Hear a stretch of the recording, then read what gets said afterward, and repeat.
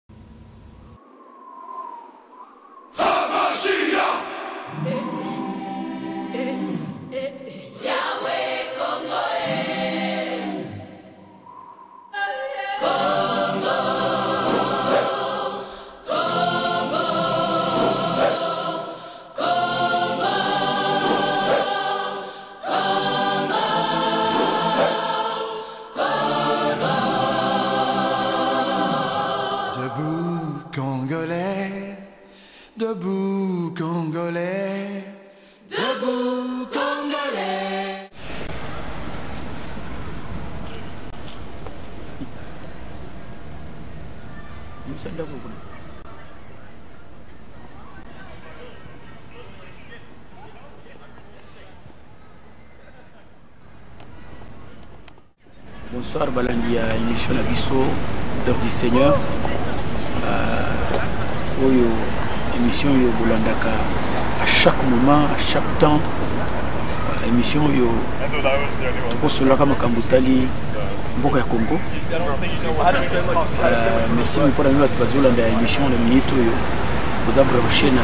émission na biso euh, topamboli nzambe lisusu na mpoka lelo dimanche nazosala euh, émission na parc awa na melbourne nzambe apambola moko na moko euh, bato oyo baza kolanda biso na europe bakolanda biso na amérique Australie mokili mobimba surtout bo bayebi histoire ya mboka ya Congo tozo kopesa bino merci mpona bitumba bobundi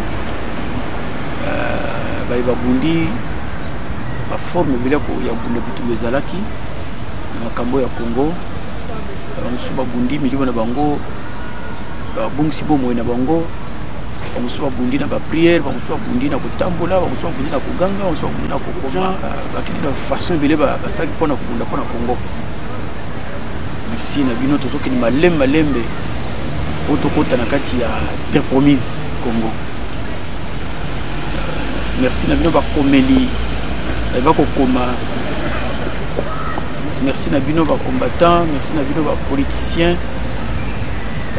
oyo babundi bamosusu babundi na calme na bamosusu babundi sans koyeba place bazali mais boyeba ke nzambe andaki komona bino nzambe asaka eloko ye moko kaka te me alinga toujours partenariat na motu yango esengelaki biso nyonso tointervenir na makambo oyo awa nazozwa exemple ya moko na baoyo babunda mpo na mboka na ye komona ye nehemi nalingaka chapitre mingi euh, makambo oyo nakoloba na yo nakoloba na biso na bino ezali makambo oyo tozo ko préparer peuple pona retour parce que tokotambola na kati ya ba na kati ya babilaka na baprophétie na bapromese ya nzambe eh, biso tozali baye bakotambola lokola libota ya isakar baye bakodiscerne temps na saison temps ya visitation ya nzambe alors yo ozala mpe moko na bango mpokwa lelo tozali awa mpo na kokutana ndeyebi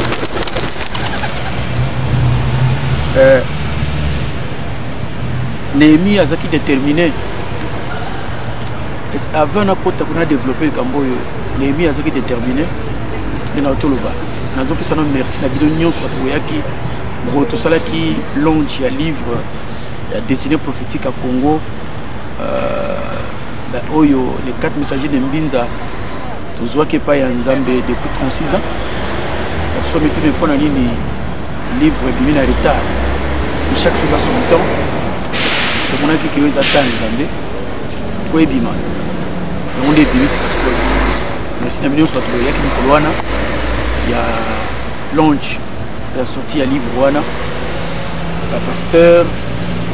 merci mingi bino nyonso bozalaki wana en général mwana ntango akomba mopungu eza te namonaki bapaster ebele bayaki bandeko ya communauté bazalaki ebele merci na bino nyonso bamama batata bandeko nyonso tout vraiment nkola pambola bino mpo na assistance na bino euh, mpo na journée wana alors euh, ce que je peux vous dire maintenant ezali ah, mpona makambo etali préparation ya peuple mpona retour quand est ce que nehemia se préparaki mpona kozonga ndenge moko yo mpo kose prépare mpona retour biso to separe mpona retour et surtout baoyo baza destine mpona kozonga bango so bakotikala na bango e mpona biso na baye bakozonga nous devons nous préparer sur le plan euh, physique sur le plan spirituel sur le plan matériel il faut tous se préparer yango nehemi mokanda alobi te il était déterminé au risque de sa vie nehemi ake kosenga epa roi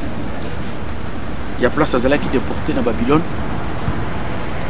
mpona azwa autorisation ya kokende na jérusalem mpo na koorganize restauration ya miraille alo nehemi euh, eloko monene ebimisaki ye mpo akende kosenga autorisation alaki euh, azalaki déterminé moto aza na détermination te akomaka na suka te détermination ezali moko na clé ya un leader détermination ezali moko na clé ya moto oyo aza un visionnaire okozala na vision mais soza déterminé te vision nayo ekobotela yo moto okoki kozala na pele ya nzambe soza na détermination te okende mosika te na pele na yo okoki kozala na don okozala na capacité mais so détermination eza te tu dira pas loin donc détermination ezali okongo très important mpo na biso baye baza déterminé au risque de sa vie tomoni na emi parti euh, mpona kosenga autorisation mpo na nini mpo alobi balobani alobi boye comment ne serais-je pas triste alors que la ville où se trouve les tombes de mes ancêtres est en ruine tala bato batanga bible na nehemi 22 ndenge nakozala triste te ntango nazokasango ke ville ya bakoko na ngai place ba tombe na bango bakunda na bango ezali eza en ruine tala attitude ya moto oyo tala attitude ya un politicien tala attitude ya un combattant tala attitude ya un serviteur de dieu engagé pendant crise ya mboka na ye attitude nakozala yango abi nakozala triste te mpo na nini nakozala na mawa te pourkui tala ayoki sango ke mboka ya, ya ye ezali vraiment ruine amanifeste alobi nazala triste te mpo na nini nayoki makambo oyo epesi nga mpasi yo wafa kumputu oyokaka mawa te ya mboka na yo okipaka kutu te na place ya mawa obeti miziki ntongo etani yo moto oyokaka mawa te oza na congo mosano bakorompaka kaka corruption na bino ekomi na suka yo moto oza na, na, na libanda ya congo okipaka no makambo ya mboka na yo te tala réaction ya nehemi oyo ezali réaction un patriote un politicien patriote un combattant patriote un serviteur de dieu patriote modele ya badavid bato lokola bacharles fidei baza basali na nzambe ya periode oyo mais azoloba bike bino nyonso bandimi ya amerike moto oyo aza na état moral ya bien te bovote ye te alance défie pa bachrétien à cette époque là bino bato botanga théologie botanga finai te asingere na makambo politike ya mboka abitala moto oyo moral na eza bien te ezala kota opposition eza kota oyo bo vote ye te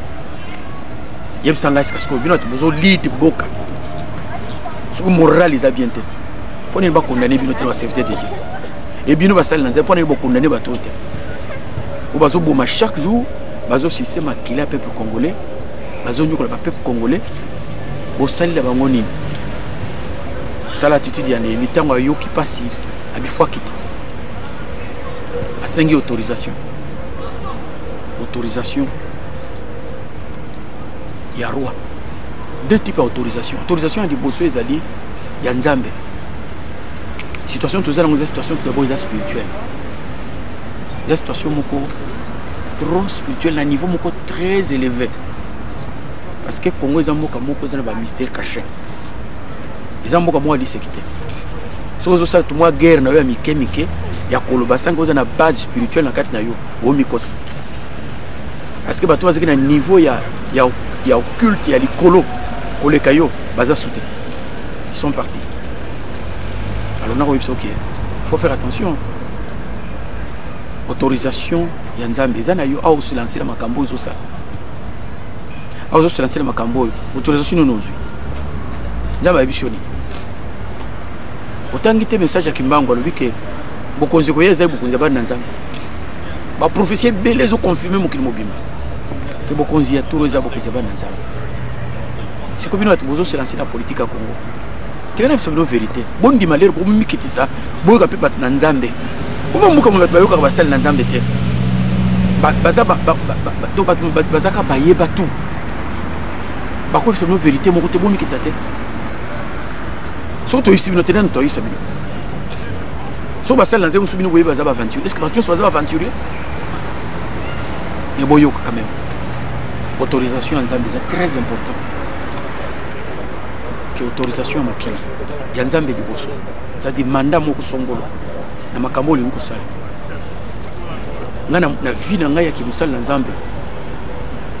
depuis bana ebele oyo tosali tomoni basali na nzambe ebele mo babeti batolo tomoni bana na nzambe ebele tomoni bato ebele ndenge na ndenge sont passés obayaki na politike ya congo balekani ndenge na ndenge sont passés mpo na nini autorisation autorisation nini oza nango autorisation nini ozwi ya leta sela tozomona autorisation mibale ezali bokonzi ya mokili oyo mais boyelana te bobomana mpe te eza guerre te oyo osama na congo eza o champ ya nzambe champ ya motu te so bomani bokozwa rien mokili ekoseka bino lisusu eloko nde boluka bomoko lisanga bomoko na lisanga emema bino na succès na réussite na ntango tozali miso bowelani sans autorisation ya nzambe sans autorisation ya mokili mawa trop mpo na bino mawa mpenza ebele moni elongi na nga soki otali yango depuis elobaka kaka depuis congo kinshasa elobaka kaka eloba ti ekende baisiro babunya banyanya oyebi moko na otanga yo peut-être okomona yango te j'ai parlé de ces choses depuis longtemps na baninga misato donc toloba tii nakomi nga moko nasala mosala place na mboka oyo nazali awa nakontinaka koloba on a vu beaucoup de choses tomoni kowelana na kati bato na kati ya bakongole s'il vous plaît tokomi na minute ya suka towelana na susu te il faut ose surpasser lisanga na autorisation ya nzambe lisanga na autorisation ya bokonzi ya mokili soki osala kiteture sala na yo eh, nazalaki na belgique na 2001 nasalaki interview na baweki ntango bato baokende makambo oyo ezalaki na afrique du sud à l'époque osala baréunion nayebisaka bango makambo oyo boluka nzambe nasolaki na bapoliticien ebele nauta kosala réunion na bapoliticien ebele bapapa na biso ya kala na sofitel na bruxelles après naye osala sikoyo interview na baweti muze eh, paster dani olobi nini nasi bango na ye bandeko boluka bozala uni epuis ya mibale boluka bozala boluka eh, na unité na bino cherche dire eh, après cela so bokeyi bokorosure me bango bayokaki te ntango bakendeki échec total bakomi kuna bakorompre bango c'était fini mpo na bango makambo wana elala mpongi lelo bino bokende botele mpo bokende congo botele mpo na retour ya congo vous vous êtes préparé est ce que boza préparé sur le plan spirituel sur le plan moral bizala nini bokomema na congo raisonnement nini bokomema na congo réaction nini bomema na congo eloko nini bomema na congo kuna oyo ezalaka te parce que bato ya congo mpe baza mayele bato ya congo mpe baza na bacapacité bato ya congo mpe baza bato moko éveillé eloko nini bokomema il faut bomema eloko oyo bango baza nango te il faut bomema eloko oyo ekosala ke eveille conscience ya peuple eloko oyo osalaki eveille conscience ya bato batikali sur place moni nehemi quand il est parti mpo na reconstruction ntango akomi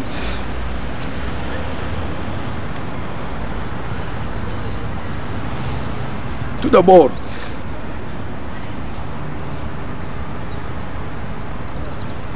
avant kokende à se préparer sur le plan spirituel na mabondeli pourquoi mabondeli bino boyebi combien ya bademo na bademo na bademo olimisa ngai na bademo ya basatana modele na modele baoyo baza contre restauration congo baza contre élévation congo baza contre ke congo oyo ejoue role yango oyo nzambe atyela yango na mokili boyebi basatana boni tala moninga daniel ntango ayoki sango atangi atangi makambo jeremi aloba patriote mpenza motu oyo daniel e mokanda nzambe te après avoir lu makambo oyo bakomaki na jeremi mbala moko achange tactique na façon ya kotelema liboso ya nzambe abanda obondela epreuve eza ke na, na daniel alobi na soki ke ntango akobondela ntango bazoya kopesa réponse songolo ange ya diable satana atelemi abloke ange de l'éternel mpo aza koya kopesa ye réponse ya prière na ye chaque fois que mboka oyo ezali mboka ya choisi ya nzambe elingaka kotelema elingaka koavanse basatana bakoselanse na ndenge ya kosakana te baatake ekoya ya kosakana te makambo mabe ekoya kosakana te mpo na nini bokoluka te bose reconcilia na bino moko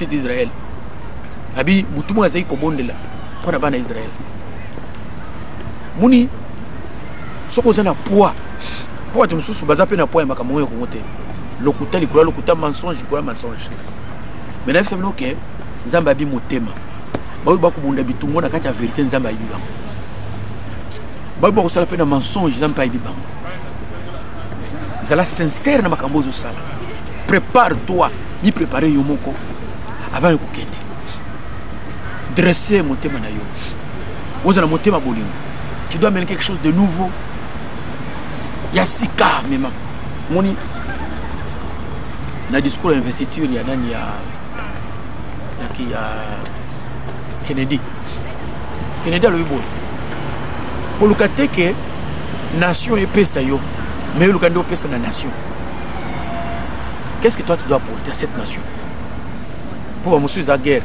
so nakomi kasi place nakoprouve ya mosusu bana barenyaki tour oyo baswahili tour oyo biso bakongo ah, danger kozala tour oyo biso baluba bakoyeba biso tour oyo bakoyeba biso bangala banyongi biso ntango mobutu akei bakomona soki kati nazwi pouvoir gouverneur ya ville ya kinshasa bakoyebaka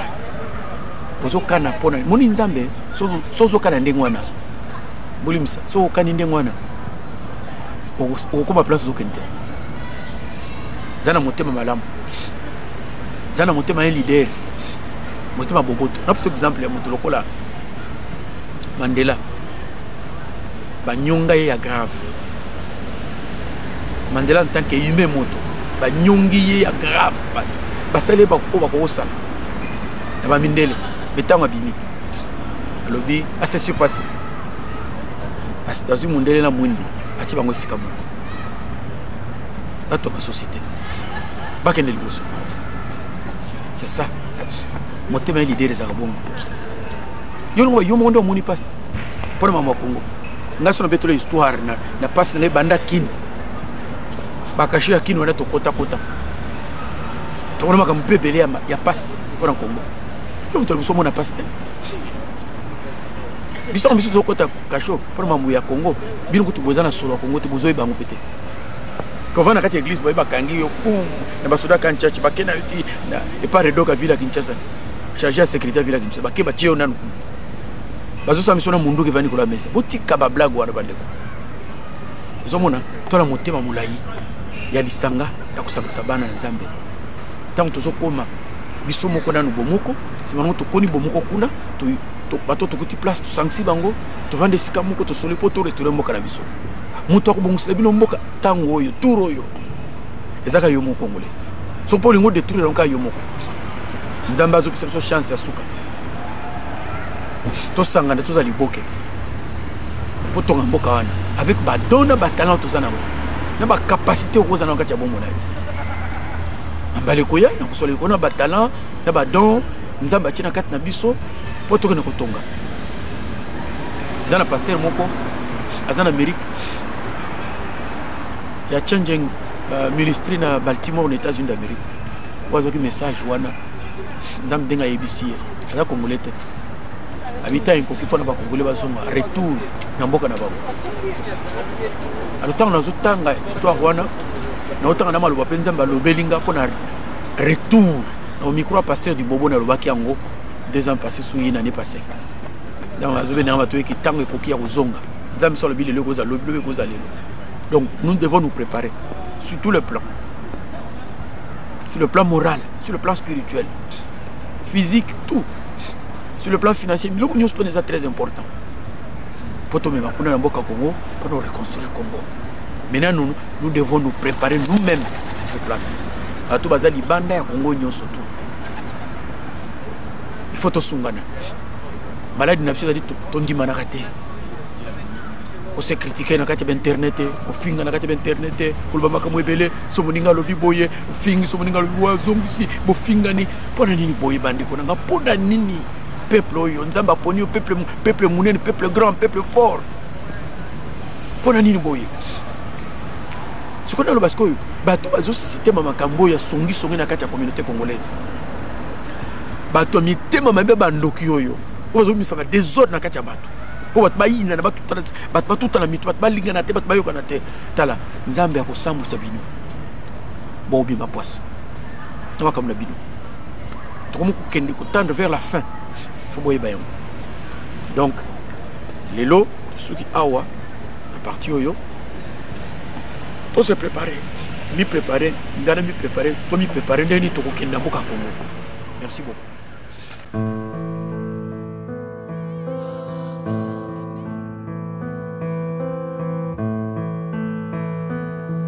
Allez,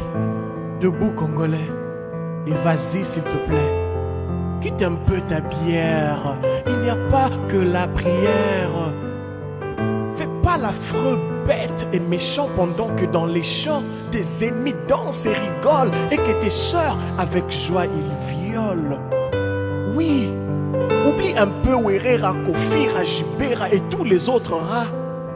parce qu'il s'agit du Congo. Oui, le Congo annonce sa Terra. Allez, debout, Congolais! Et vas-y, s'il te plaît. Que voient Kim Pavita et Patrice Lumumba quand ils posent leur regard un peu plus bas Ils s'hallucinent, n'en croient pas leurs yeux de voir la douleur d'un peuple si riche mais si malheureux. Ce peuple, chanteur, ce peuple, danseur, ce peuple de prière, il a déjà été libre. Oui, il a déjà eu un équilibre, une joie de vivre